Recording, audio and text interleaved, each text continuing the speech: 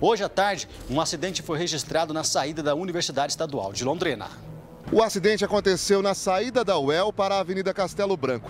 Tanto a moto quanto o carro desciam a rua, mas foram fechados por outros veículos que faziam a conversão.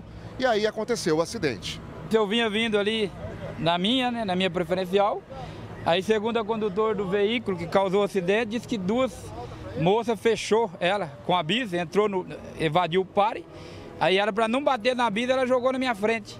Aí no que ela jogou, a hora que eu vi que ia bater mesmo, eu tentei tirar pro lado direito, né? Tentei, tentei, não consegui, aí acabou batendo. Aí eu vi que eu ia bater mesmo, eu acabei me jogando ao solo para não cometer um acidente mais grave daí.